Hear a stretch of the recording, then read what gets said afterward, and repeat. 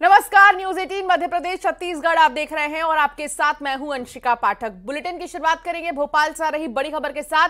EVM पर दो धड़ों में कांग्रेस बढ़ चुकी है। गोविंद सिंह ने ईवीएम पर सवाल खड़े कर दिए हैं। तो दूसरी तरफ़ ईवीएम रहने तक प्रजातंत्र का गला घोटा जाता रहेगा, ये भी कहा है। स्क्रीनिंग कमेटी की चेयरपर्सन रजनी पाटिल का बयान आया है। कांग्रेस ने कभी नहीं कहा ईवीएम से नहीं जीतेंगे चुनाव। हम अपने बलबूते पर चुनाव लड़ेंगे, रजनी पाटिल का ये बड़ा बयान। तो ईवीएम को लेकर अब दो तरीके के बयान सामने आ रहे हैं।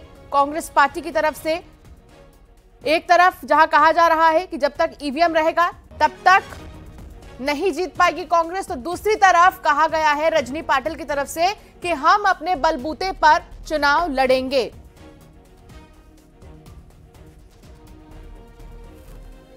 तो राज्य जानबूझ के जिताए हैं, ताकि लोग 140 करोड़ देश की जनता भ्रम रहे कि भाई हम दो चुनाव छोटे छोटे राज्य जिता दिए और बाकी वहाँ बोला नहीं तो ईमानदारी से चुनाव वहाँ जीत गए।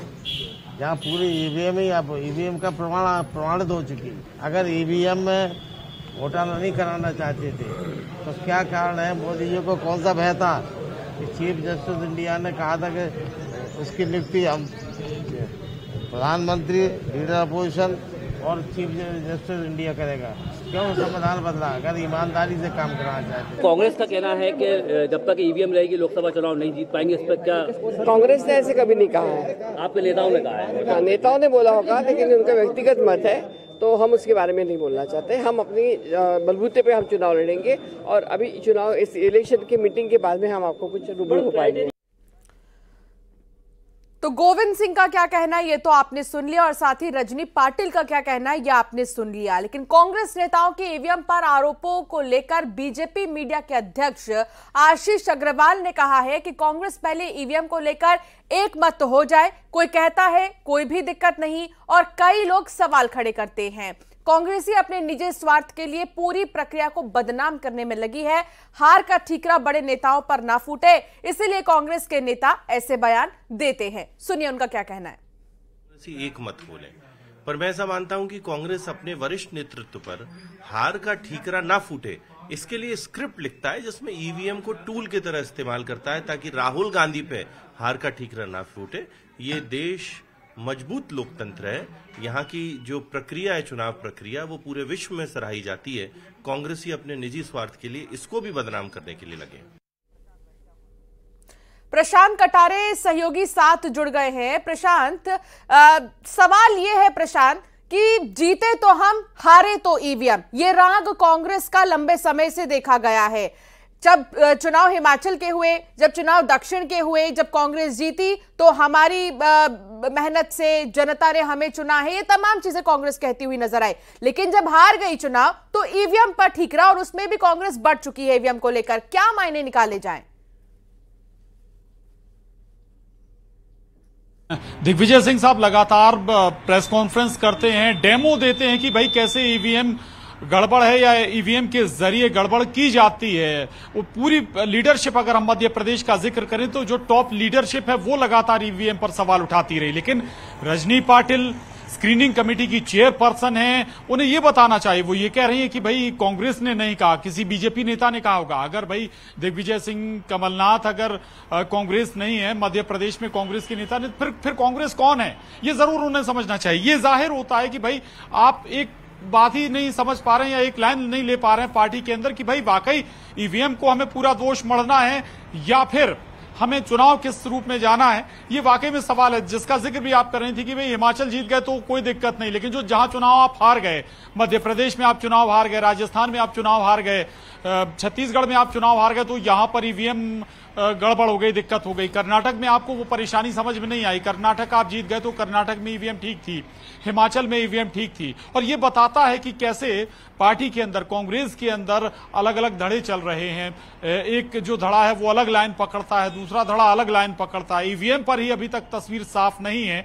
और यहाँ पर जो बैठक हो रही थी कांग्रेस दफ्तर में, चुनाव तैयारियों को लेकर हो रही थी। आप समझिए कि जब आ, किसी मसले पर आप एक लाइन नहीं तो फिर बैठक में आप कैसे एक मत हो पाएँगे? किसी रणनीति पर आप कैसे एक मत हो पाएँगे? और यही किसी तो वजह है प्रशांत की देखिए इंडी गठबंधन जो था वो अब खंड खंड हो गया है कि जब विचारधारा ही एक नहीं है तो एक होकर आगे कैसे बढ़ेंगे? बिल्कुल बिल्कुल यही बात सही है कि भाई आप लाइनों पर एक नहीं हो पा रहे हैं वहाँ इंडी गठबंधन का ज़िक्र है। एक एक कर इंडी गठबंधन से लगातार लगातार एक एक दल छोड़ के चले जाए चले गए या किनारा कर लिया इंडिया गठबंधन से कांग्रेस के साथ। चाहे आम आदमी पार्टी की बात हो या फिर हम कहें ममता बनर्जी की बात हो, नीतीश कुमार अब अलग हो गए। तो ये या हो सकता है हाँ। कि लगातार ये जो झटके कांग्रेस झेल रही इन झटकों को कांग्रेस के नेता नहीं झेल पा रहे हैं कांग्रेस नहीं झेल पा रहे इसके बाद इस तरह के बयान सामने आ रहे हैं। लेकिन इतना ज़रूर तय करना हाँ। होगा। कम से कम ईवीएम पर तो एक लाइन रखे कांग्रेस। अगर ईवीएम पर आप एक लाइन नहीं है एक तो लाइन एक विचारधारा बहुत ज़रूरी है। प्रशांत बहुत शुक्रिया जानकारी साझा करने के लिए।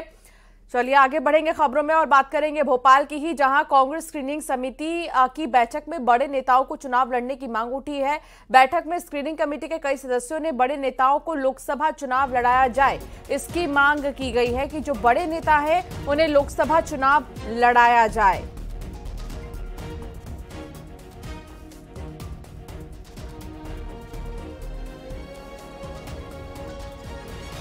क्या अब बड़े नेता कांग्रेस के लोकसभा चुनाव लड़ेंगे।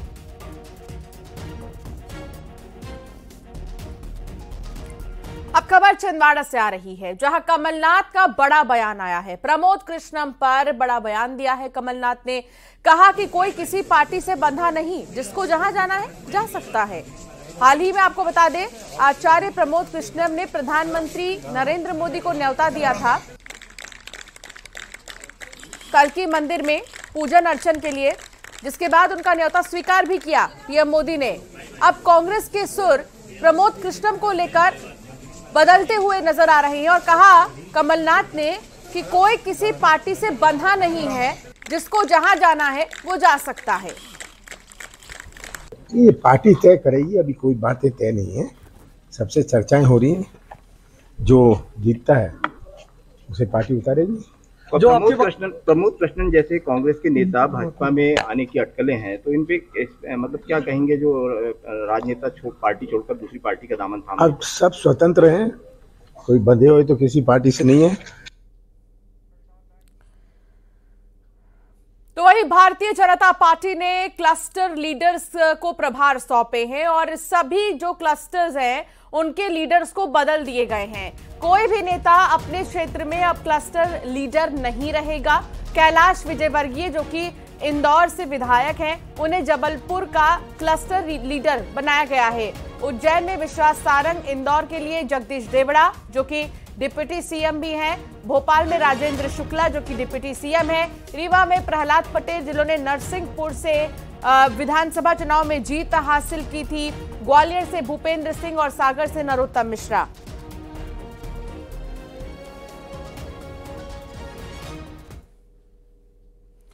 भोपाल से बड़ी खबर आ रही है, जहाँ पीएम मोदी करेंगे लोकसभा चुनाव अभियान का आगाज़। लगभग 11 फरवरी से बताया जा रहा है जब पीएम मोदी का एमपी दौरा होगा, प्रस्तावित है फ़िलहाल ये दौरा।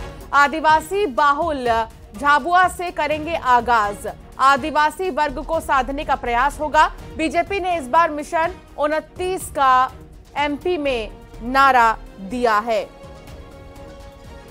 तो मिशन उनतीस, अगर बात करें बीते लोकसभा चुनाव की 2019 की तो 28 सीटों पर बीजेपी ने जीत हासिल की थी, लेकिन इस बार मिशन उनतीस, यानी कि पूरी सीटें जीतने का दावा भारतीय जनता पार्टी कर रही है, और इसके लिए अभी इंतज़ार है। इसका आगाज़ प्रधानमंत्री नरेंद्र मोदी करेंगे।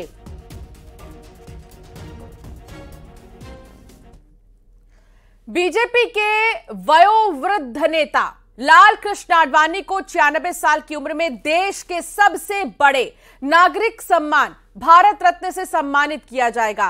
प्रधानमंत्री नरेंद्र मोदी ने सोशल मीडिया पर इसकी जानकारी भी दी है।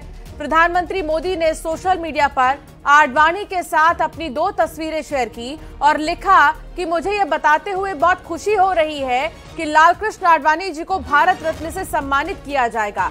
पीएम ने लिखा, मैंने उनसे बात भी की और उन्हें यह सम्मान दिए जाने पर बधाई दी। देश के विकास के लिए उनका योगदान कोई भूल नहीं सकता। उन्होंने जमीनी स्तर से काम शुरू किया था और वो देश के उप प्रधानमंत्री पद तक पहुँचे।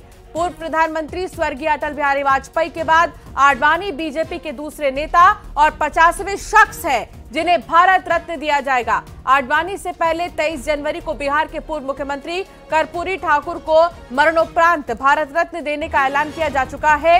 केंद्र सरकार एक साल में तीन लोगों को यह सम्मान दे सकती है। खुशी है। मुझे भी पूरे परिवार को कि दादा को इतना बड़ा सम्मान, देश का सर्वोच्च सम्मान मिला है। निश्चित ही आज मुझे एक व्यक्ति जिसकी याद सबसे ज़्यादा आ रही है, वो मेरी माँ है। और माँ का दादा के जीवन में बहुत बड़ा योगदान रहा है, निजी जीवन में भी और राजनीतिक जीवन में भी।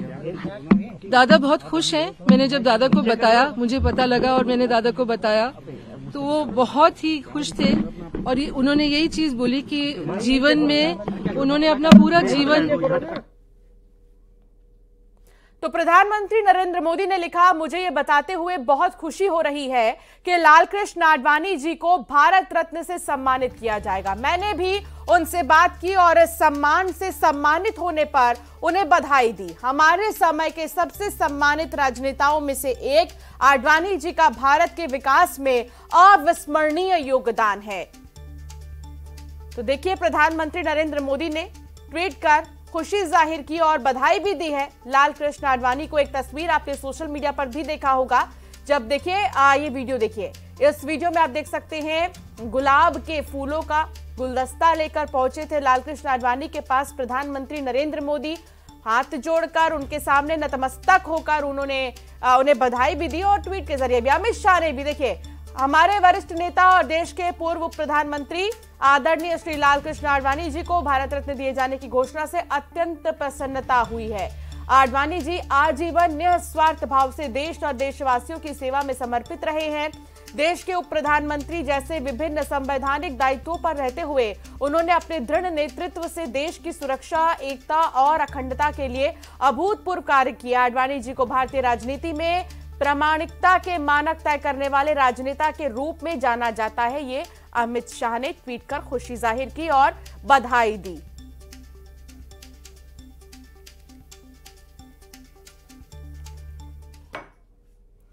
ग्वालियर में केंद्रीय मंत्री ज्योतिरादित्य सिंधिया एक बार फिर अलग अंदाज में दिखे। सांसद खेल महोत्सव के दौरान ज्योतिरादित्य सिंधिया सितोलिया खेलते नज़र आए। सिंधिया ने खुद ये वीडियो अपने सोशल मीडिया अकाउंट पर शेयर किया है, जिसमें उन्होंने लिखा है कि अर्जुन की तरह लक्ष्य निर्धारित करने और उसे साधने की सीख भी खेल से ही मिलती है। भाई भाई भाई भाई, थोड़ा सा बोल